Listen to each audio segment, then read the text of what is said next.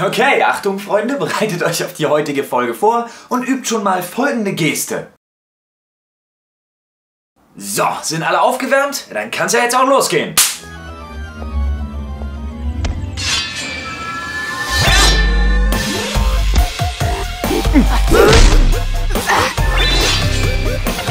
Hallo Ladies and Gentlemen, geil, dass ihr wieder dabei seid. In Massachusetts, Massachusetts, Warum der nicken Ort so? In Massachusetts in den USA steht eine junge Dame vor Gericht wegen einem ganz spezial gelagerten Sonderfall. Drei Fragezeichen pun intended. Danke. Die junge Dame namens Carter muss sich für den Tod ihres Freundes Roy verantworten. Sie hat ihn allerdings niemals angefasst, war nicht mal am selben Ort und trotzdem ist sich die Anklage sicher. Dieser Fall ist absolut bizarr und irgendwo auf einer sehr, sehr kleinen, widerlichen menschlichen Ebene auch pervers. Denn Carter hat ihren Freund Roy zum Selbstmord angestiftet, förmlich dazu getrieben. Roy hatte offensichtlich offensichtlich Probleme, hat sich mit dem Gedanken, Selbstmord zu begehen, beschäftigt. Und seine Freundin No fucking way. Hat ihm in hunderten Textnachrichten, die allesamt dem Gericht vorliegen, dazu bestärkt, es endlich durchzuziehen. Mach es einfach, tu es jetzt oder nie, bring dich endlich um, bring es zu Ende, schrieb sie ihm immer wieder. Und selbst seine Hilfeschreie, dass er erklärt hat, er traut sich nicht, es ist nicht der Zeitpunkt, er kann seine Familie doch nicht so sehr im Stich lassen und verletzen. All diese Bedenken wurden von der jungen Frau gegriffen und zerschmettert. Und sie bestärkte ihn weiter, sie würde auf seine Familie aufpassen, sie wären niemals alleine, sie würde es seiner Familie erklären erklären. Er muss es sich einfach endlich trauen. Jetzt könnte man denken, die Alte hat so psychischen Schuss, dass sie einfach überhaupt nicht weiß, was sie tut. Allerdings gibt es auch Textnachrichten, die eindeutig belegen, dass das nicht der Fall ist, denn sie schrieb ihm immer wieder, bitte lösch deinen Chatverlauf.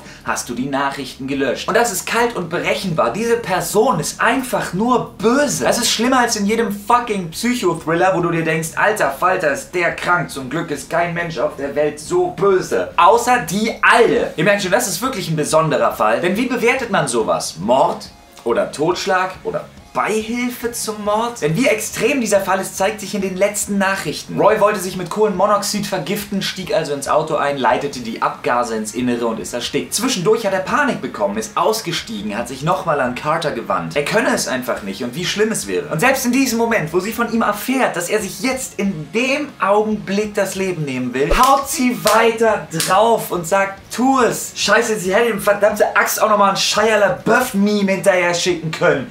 Just Do it! Makaberer geht ja der Scheiß wohl nicht. Und deswegen ist die Debatte jetzt groß. Wie würdet ihr das bewerten? Ist sowas eindeutig Mord? Oder vielleicht doch nur unterlassene Hilfeleistung? Eure Meinung dazu auf jeden Fall mal in die Kommentare. Ich bin mega gespannt. Und was mir persönlich noch wichtig ist, kurz zu erwähnen. Wenn ihr einsam seid, euch alleine fühlt, irgendwie nicht mehr könnt oder weiter wisst, Leute, ihr steht damit auf keinen Fall alleine da. Das muss euch bewusst sein. Es gibt Hilfe, die könnt ihr euch holen. Völlig egal, wie alt ihr seid. Ich habe in der Videobeschreibung mal ein paar Telefonnummern verlinkt von Leuten und Organisationen, Personen, die euch dabei wirklich helfen und unterstützen können. Baut keinen Scheiß. Das Leben ist kostbar und es ist nie zu Ende, denn nach jeder fucking Talfahrt muss es wieder bergauf gehen.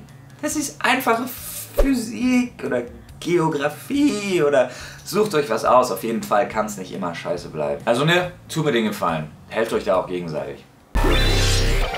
Wer sich vor dem Intro noch nicht richtig aufgewärmt hat, es muss weitergehen.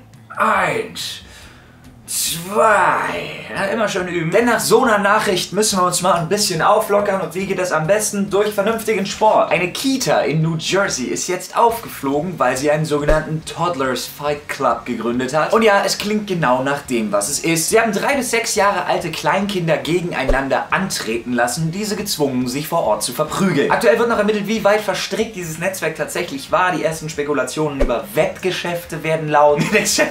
What the fuck ist falsch mit denen, Junge? Was im ersten Moment irgendwie absurd und auch, ey, ohne Scheiß, sorry, echt lustig klingt. So ein Ring voller Kleinkinder, die sich gegenseitig zerfleischen, ist halt das Problem, dass das echt schweinegefährlich sein kann. Und diese Kita-Betreuer verdammte Axt nochmal die Aufgabe hatten, auf Schutzbefohlene aufzupassen. Aufgeflogen ist das Ganze tatsächlich dank Snapchat, denn dort wurden die Kämpfe immer wieder geteilt und vor allem immer berühmter, bis endlich mal jemand was gesagt hat. Und da muss ich auch an die Erzieherinnen, die das Ganze veranstaltet haben, sagen, hey, Ihr habt Rule Number One gebrochen. Man redet nicht über den Fight Club. Also selber schuld. ohne Scheiß, sorry. Was haltet ihr davon? Ich, ohne Scheiß, habt ihr Kinder? Wie würdet ihr reagieren, wenn ihr mitkriegt, dass euer Kind in so einen Fight Club gezwungen wird? Ich weiß, total absurder Gedanke, aber vielleicht könnt ihr euch ja da irgendwie reinfuchsen. Schreibt mir mal, was ihr davon halten würdet. Nächstes Thema mit der politisch nur so unkorrekt wie möglichen Überleitung Es geht ums Selfie-Schießen.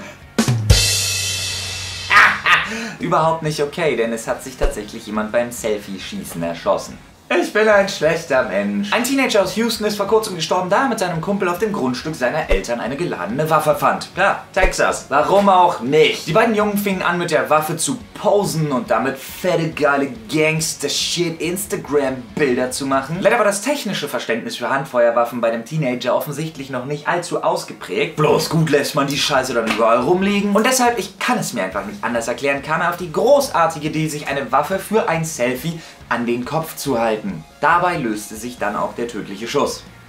Jetzt könnte man natürlich sagen, klar, der Typ ist ein Top-Anwärter auf den Darwin Award des Jahres, was allerdings ein klein wenig pietätlos wäre, wie ich an dieser Stelle ansagen möchte. Und ich muss in diesem Falle ganz ehrlich sagen, dass ich die Schuld und die Verantwortung ganz klar bei den Eltern sehe. Vielleicht seht ihr das ja anders, aber wenn ich der Meinung bin, in einem Staat wie Texas ständig Waffen überall rumliegen zu lassen, Hauptsache ich besitze welche, dann muss ich mit so einer Scheiße rechnen. Aber bloß gut hatte ich die Knarre, um meine Familie zu schützen. Hat in diesem Fall immer richtig gut geklappt.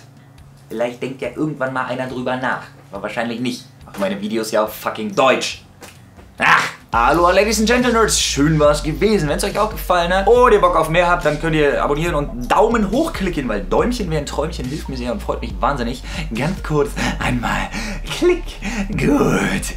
Danke. Nee, und falls ihr dann noch Bock habt auf weitere Videos, ist da so Let's Play-Gekröse, wo wir uns gegenseitig anschreien, beleidigen und töten. Dort habt ihr den Gaming-Channel Dr. Freud. Da ist heute ein neues Ranking erschienen. Das könnt ihr euch mal reinziehen. Es geht um unsere Lieblings-Top 10 Horror-Games. Mega gruselig und Shit. Und in der Videobeschreibung habt ihr sämtliche Links, die irgendwie interessant sein könnten. Ist auch lustig, ne? Dass Links unten sind. Also nicht links unten, sondern es sind die Links unten. Ist okay. Ja, ja, ist okay, ich sehe es ein.